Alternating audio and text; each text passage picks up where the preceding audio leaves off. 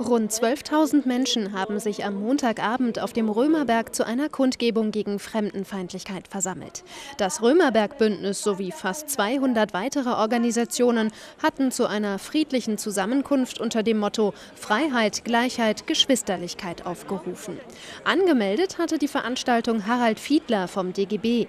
Er findet, dass gerade in einer Stadt, in der jeder Zweite einen Migrationshintergrund hat, ein solches Zeichen wichtig ist.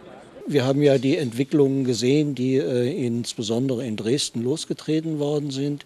Wir haben gesagt, gerade von dieser internationalen Stadt Frankfurt muss ein Signal ausgehen in dieser Republik auch, wo deutlich wird, dass wir beispielhaft zeigen können, dass hier Menschen in Frankfurt von über 190 Organisationen friedlich zusammenleben, aber auch friedlich zusammenarbeiten. Und wir lassen uns nicht aufhetzen von so ein paar äh, irren äh, Volksverhetzern.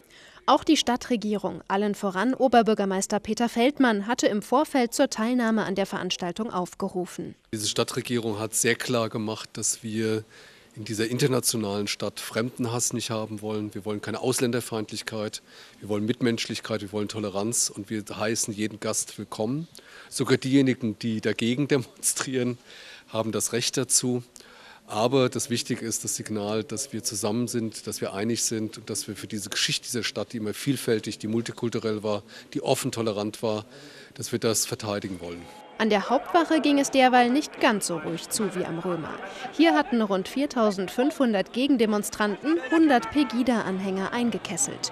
Unter ihnen Organisatorin Heidi Mund und NPD-Mann Stefan Jaksch. Es gibt kein Recht auf Nazi-Propaganda! Es gibt kein Recht auf Nazi-Propaganda!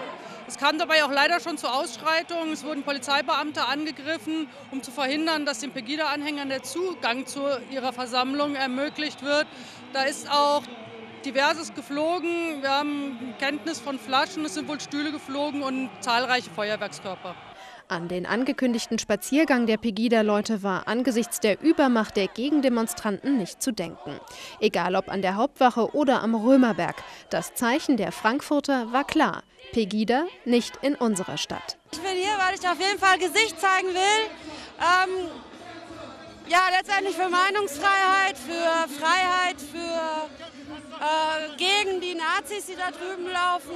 Ich bin heute hier, ein Zivilcourage zu zeigen gegen Rassismus, latente und offene Rassismus. Ich stehe für eine weltoffene Stadt Frankfurt. Das ist meine Stadt und ich möchte auf keinen Fall, dass Pegida sich hier festsetzt oder hier demonstriert.